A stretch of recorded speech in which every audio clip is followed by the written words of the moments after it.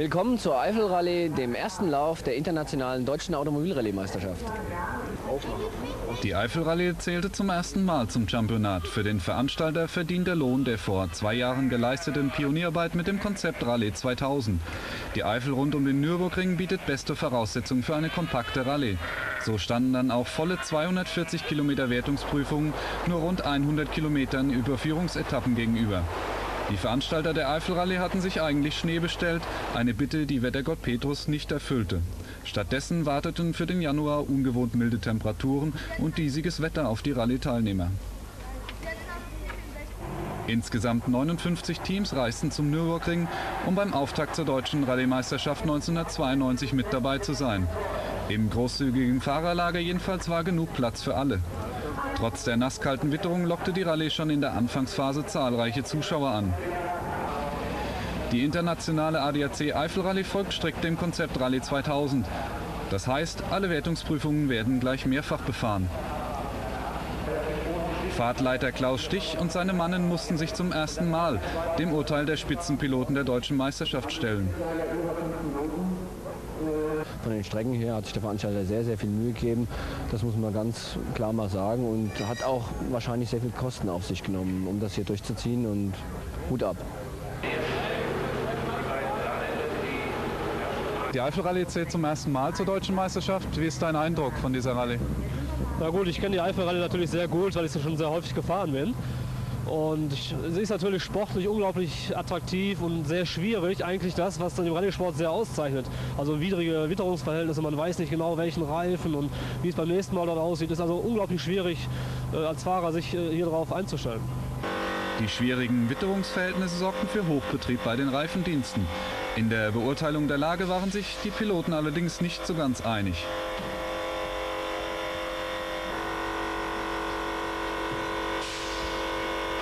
Das Problem hat jeder und irgendwo fahren wir Rallye und kein Rennen. Und ich finde, das ist äh, mal gut, dass man auch mal Sachen hat, wo man mal was entscheiden muss als Fahrer. Und gerade mit der Reifenwahl oder mit Fahrwerken. Und dass nicht immer nur Topmaterial aufgefahren wird und nach der nächsten Prüfung wieder gewechselt wird. So muss halt jeder einen Kompromiss eingehen und äh, ich glaube, da zeigt sich eher, wer der Bessere ist, fahrerisch. Und nicht nur vom Material. Ex-Meister Ronald Holzer ist da anderer Meinung. Ich bin nicht ganz so begeistert. Bei mir die Streckenführung behagt mir nicht ganz so. Oder ist nicht, glaube ich, im Interesse von einer Rallye.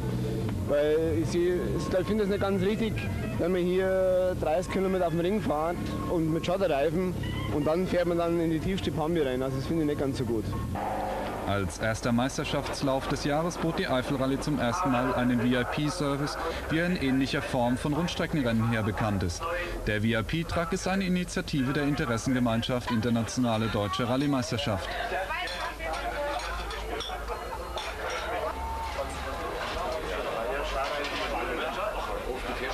Die hat es sich zur Aufgabe gemacht, mehr Leute an die Strecke zu bringen, wichtige Leute an die Strecke zu bringen. Deswegen bieten wir den Teams, den Sponsoren an, in diesem VIP-Bereich ihre Gäste zu betreuen. Und wir fahren mit diesem großen LKW an die Strecken und ich denke, es wird angenommen in der Zukunft.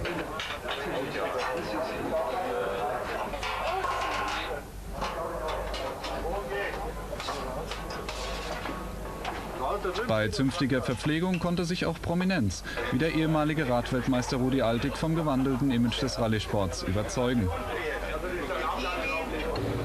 Doch dann geht's richtig los. Mit der Nummer 1 geht Ronald Holzer, der Vizemeister des Vorjahres an den Start. Nach einem Jahr im Mitsubishi-Werksteam tritt er 1992 wieder mit seinem privaten Lancia an. Die Start Nummer 2 trägt Holzers letztjähriger Teamkollege bei Mitsubishi, Michael Gerber. Der Hesse ist ins Toyota-Werksteam gewechselt. Einen weiteren Lancia pilotiert der unter Pseudonym startende Grieche Jigger, der die komplette deutsche Meisterschaft bestreiten will. Ein zweiter Werks-Toyota wird von Andreas Wetzelsperger gesteuert. Er hat sich mit Klaus Wiecher einen neuen Beifahrer ins Auto geholt, der bereits Erfahrung als deutscher Rallye-Meister hat. Vielleicht ist dies ja ein gutes Omen für Wetzelsperger.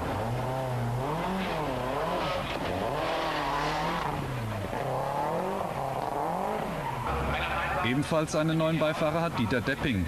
Klaus Wendel, zuletzt auf dem heißen Sitz neben Ronald Holzer, liest jetzt dem letztjährigen Gruppe N-Meister das Gebetbuch vor. Depping ist für diese Saison in einen Gruppe A fortgewechselt.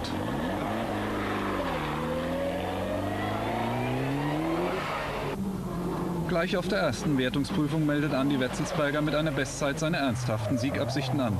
Der Bayer hat bereits ein Jahr Erfahrung im Gruppe A Toyota hinter sich und gilt als einer der Favoriten auf die Meisterschaft. Sein Auto wird in der Werkstatt von Tuner Reinhard Heinbach vorbereitet.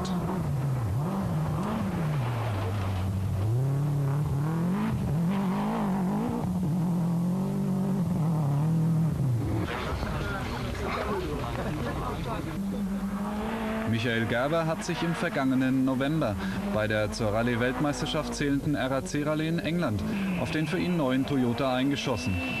Er kontert seinerseits auf der zweiten Wertungsprüfung mit einer Bestzeit. Alles läuft also auf ein Duell der beiden Toyota an der Spitze hinaus.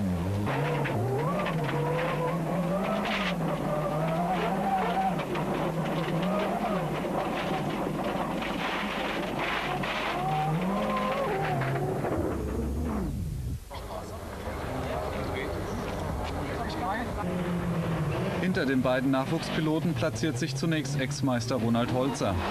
Er klagt allerdings von Anfang an über Motorprobleme. Der Turbolader will nicht so richtig für Ladedruck sorgen.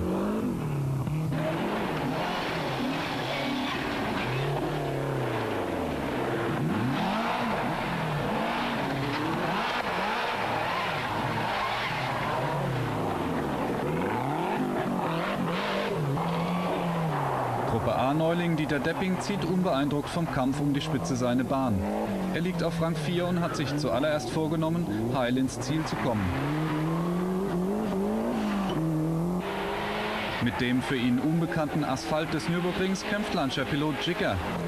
Der fünffache griechische Rallye-Meister ist aus seiner Heimat nur brutale Schotterpfade gewohnt. Nur langsam tastet er sich an das Limit heran. Doch dann der erste Ausfall. Der Toyota von Michael Gerber kommt mit ungesunden Geräuschen aus Richtung Getriebe an die Box und sorgt für Stress bei den Mechanikern.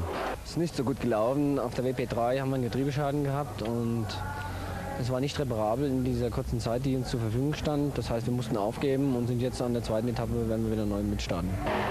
Ronald Holzer profitiert vom Ausfall des zweiten Toyota-Werkspiloten und schiebt sich auf Rang 2 nach vorn. Aber auch für den Bobinger künden sich Probleme an. Der Motor verliert immer mehr an Leistung.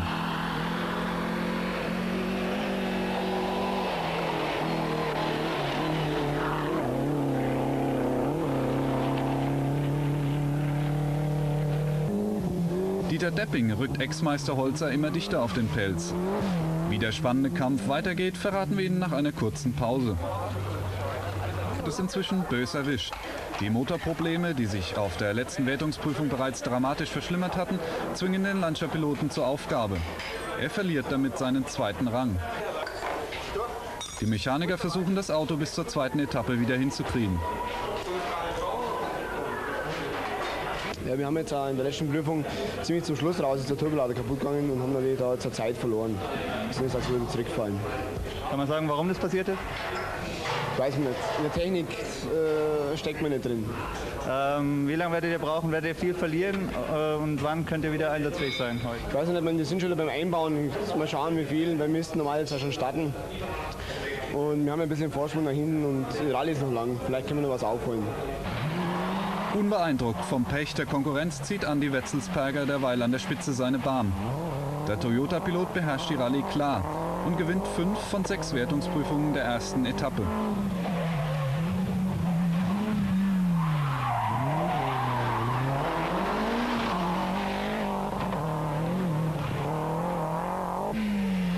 Dieter Depping hat sich durch die Ausfälle von Michael Gerber und Ronald Holzer auf Rang 2 verbessert. Der Ford-Pilot fährt weiter konzentriert und widersteht der Versuchung, Druck auf Spitzenreiter Wetzelsberger auszuüben.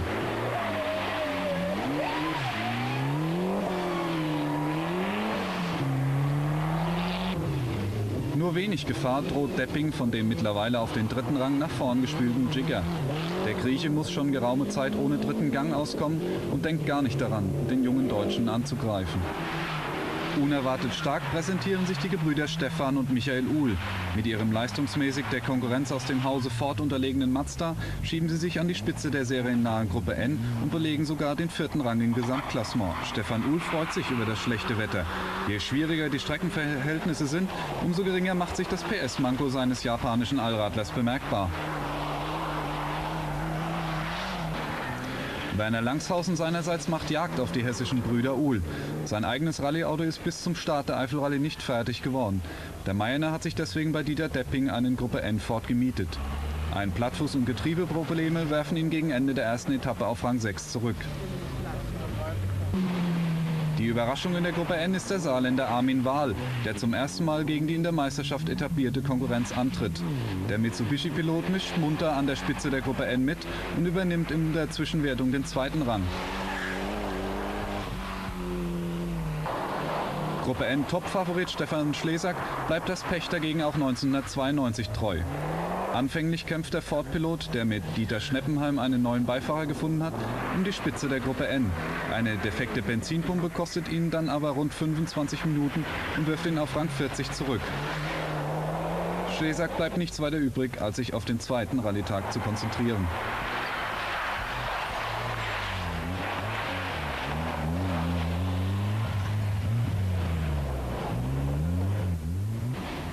Die zweite Rallye-Etappe komplett vergessen kann dagegen Ove Olafsson.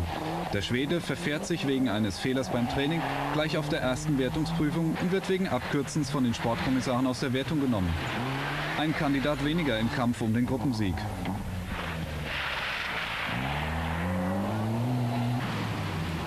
Während sich Stefan Uhl noch über seinen vermeintlichen Tagessieg in der Gruppe N freut, der sogar ein Gesamtsieg werden soll, braut sich über seinem Kopf bereits Unheil zusammen. Nach dem Ziel platzt die Bombe. Bei der Nachuntersuchung finden die technischen Kommissare einen illegalen Luftfilter in Uhls Mazda. Der Hesse wird disqualifiziert. Bringt ein solcher anderer Luftfilter, wie er nicht in der Serie verwendet wird, bringt sowas Leistung? Leistung bringt das nicht. Es hat nur den Vorteil, dass er eben wiederverwendbar ist. Du bist jetzt disqualifiziert worden. Nimmst du diese Entscheidung hin? Ich nehme sie natürlich nicht hin, logischerweise. Es wäre ja Quatsch, wegen so einer Lappali dann äh, den Sieg aberkannt zu kriegen, wobei der Luftfilter ja da überhaupt nicht dazu beiträgt, ob man jetzt schneller oder langsamer fährt. Und wir werden jetzt versuchen, bei Mazda Belgien und bei Mazda Japan ein Schreiben zu organisieren, wo das drinsteht, dass dieser Luftfilter gefahren werden darf und hoffen, damit dann durchzukommen. BMW-Pilot Matthias Moosleitner und seine Beifahrerin Regine Rausch profitieren ungewollt von den Disqualifikationen in der Gruppe N.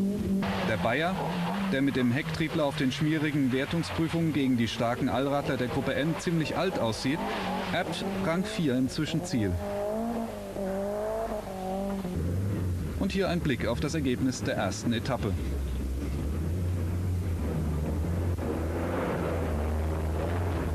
Andi Wetzelsberger gewinnt vor Dieter Depping, dem Griechen Schicker, Matthias Moosleitner und dem ersten der Gruppe N, Armin Wahl. Nach dem Start zur zweiten Etappe ist Michael Gerber mit der Startnummer 2 der Erste auf der Piste. Der Grund? Ronald Holzer musste seinen Lancia doch endgültig abstellen. Auch ein Wechsel des Turboladers brachte dem Allrad-Italiener nicht wieder so auf Trab, wie es der Ex-Meister gerne gehabt hätte. Michael Gerber und Beifahrer Peter Thul eröffnen also den zweiten Abschnitt der Rallye, der aus organisatorischen Gründen schon am ersten Tag beginnt. Und er beginnt gleich mit einem Paukenschlag. Sie waren soeben Zeuge eines Überschlages und das aus der Cockpit-Perspektive. Und so sieht das Ganze aus der Sicht des Zuschauers aus.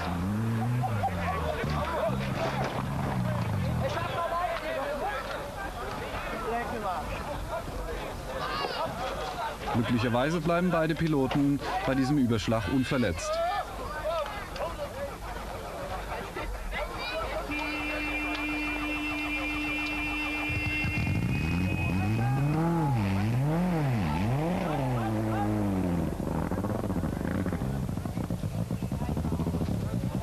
Michael Gerber startet noch einen Versuch, muss dann aber aufgeben.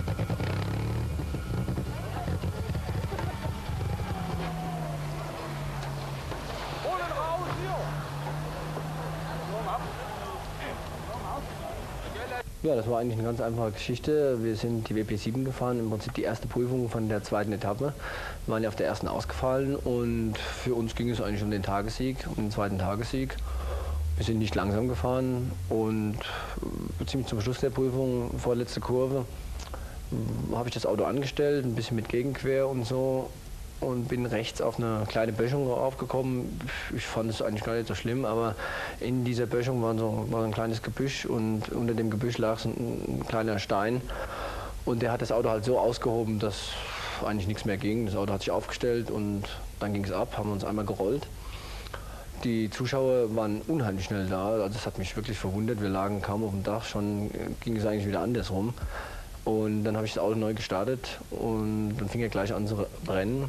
Dadurch, dass ein Ölgefäß, eine Dichtung von einem Ölgefäß undicht geworden ist und auf den Turbolader getroffen ist, war aber auch kein Problem.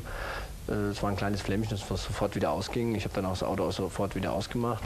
Aber wir konnten leider nicht mehr aus der Prüfung fahren, weil sonst wäre es für uns weitergegangen, trotz paar kleineren Beulen am Auto.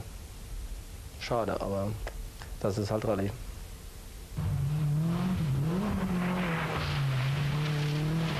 Nachdem Michael Gerber zum zweiten Mal innerhalb einer Rallye ausgefallen ist, reduziert sich der Kampf an der Spitze auf das Duell Andreas Wetzelsberger im Toyota gegen Ford-Pilot Dieter Depping. Mit dem Ausgang dieses harten Zweikampfes melden wir uns nach einer kurzen Pause erneut zur Eifelrallye und zur Schlussphase des Duells Andi Wetzelsberger gegen Dieter Depping. Fährt der Ford unversehrt durch die Eifel. Ein Unfall Deppings entscheidet die Rallye dann aber endgültig zugunsten Wetzelsbergers. Deppings Mechaniker, eine bunte Truppe aus englischen, holländischen und deutschen Schraubern, gibt unterdessen eine Lehrstunde in Sachen Notversorgung eines angeschlagenen Rallyeautos.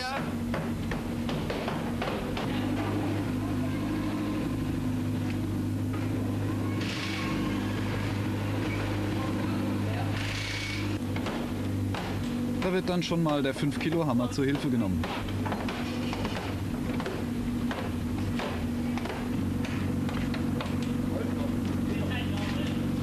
Dieter, das Auto kommt etwas beschädigt zum Service. Was ist passiert? An einem Linksabzweig bin ich etwas zu schnell rangekommen, äh, habe mich verbremst und bin seitlich mit dem Heck äh, gegen eine Leitplanke gerutscht. Depping hat Glück. Bis auf ein paar mehr oder minder kräftige Beulen in der Karosserie ist sein Ford noch voll einsatzfähig. Der Hannoveraner rettet den zweiten Gesamtrang und damit sehr wichtige Meisterschaftspunkte ins Ziel.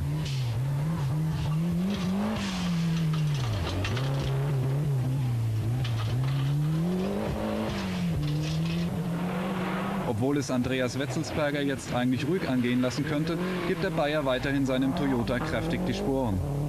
Er gewinnt alle Wertungsprüfungen des zweiten Tages. Grund zur Freude für sein Team. Mit neuem Getriebe und mittlerweile gewachsenem Gefühl für deutsche Wertungsprüfung gibt der Grieche Jicker am zweiten Tag der Rallye deutlich mehr Gas. Wir sind gespannt auf zukünftige Auftritte des Räders Sohn aus Athen.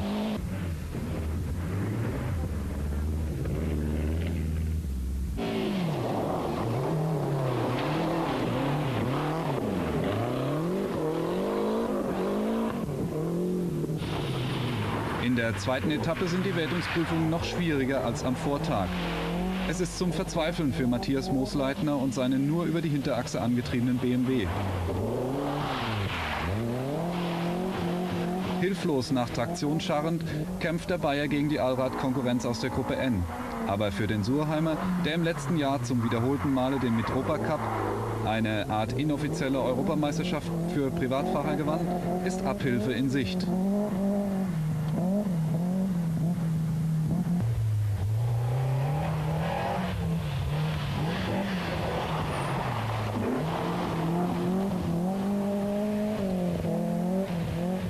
Wenn alles klappt, sollen wir ab der nächsten Veranstaltung mit einem Toyota Allrad kommen.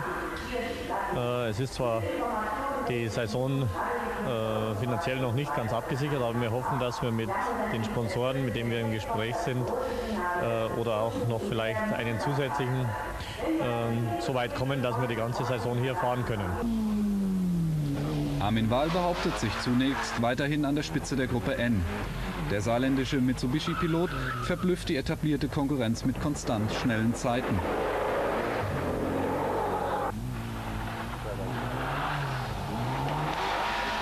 Aber in der zehnten Wertungsprüfung muss Wahl Lehrgeld zahlen. Er rutscht von der Strecke und sein Mitsubishi setzt mit der Bodenplatte auf. Der Pilot ist ratlos. Eins, zwei, drei. Aus dieser misslichen Situation können ihn zwar noch Zuschauer befreien. Bei diesem Ausrutscher hat sich der Mitsubishi aber tiefgreifende innere Wunden zugezogen. Der Motor streikt, Armin Wahl muss schließlich aufgeben.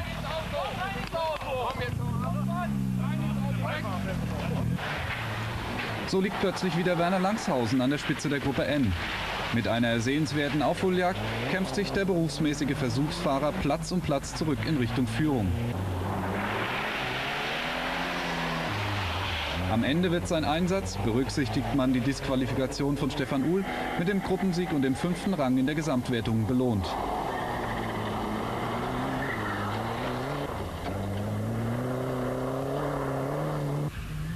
Der auf der zweiten Etappe in der Gruppe N eindeutig dominierende Mann aber ist Stefan Schlesack.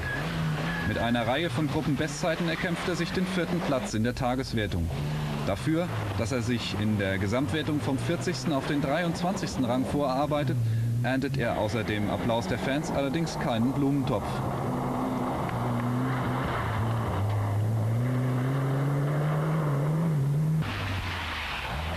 Überraschend taucht in der Endwertung Josef Burkhardt auf dem zweiten Rang in der Gruppe N auf. Der Bayer riskiert bei seinem ersten Auftritt im Allrad Ford nichts und fährt mit Köpfchen zu konstant schnellen Zeiten. Er will auch in Zukunft ein Wort um die Punkte in der Gruppe N mitreden. Den traditionellen Siegerchampagner aber gibt es für die Gesamtsieger der Eifelrallye, Andreas Wetzelsberger und Klaus Wiecher auf Toyota Celica. Dieter Depping und Beifahrer Klaus Wendel feiern mit dem zweiten Rang einen nicht minder gelungenen Saisonauftakt.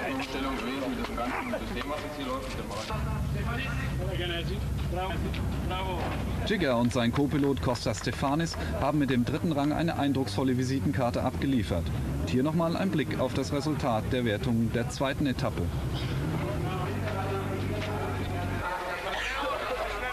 Die Siegerehrung ist der verdiente Lohn für zwei Tage harte Arbeit im Rallye-Cockpit. Die Siegerehrung ist der verdiente Lohn für zwei Tage harte Arbeit im Rallye-Cockpit. Es ist Andreas Wetzelsbergers erste Champagnerdusche. Und hier das Gesamtergebnis der Eifel-Rallye. Wegen der Disqualifikation von Stefan Uhl und der darauf folgenden Berufung ist das Ergebnis ab Platz 4 zunächst vorläufig. Was ist das für ein Gefühl, zum ersten Mal ganz oben zu stehen auf dem Siegertreppchen? Das ist ein sehr schönes, gutes Gefühl. Bloß beim nächsten Mal sind hoffentlich Ronald und Michael auch dabei und dann wird es hoffentlich etwas spannender, wie jetzt hier am zweiten Tag. Klaus Wicher zum ersten Mal mit dem Andi Wetzelsberger im Wettbewerb gefahren.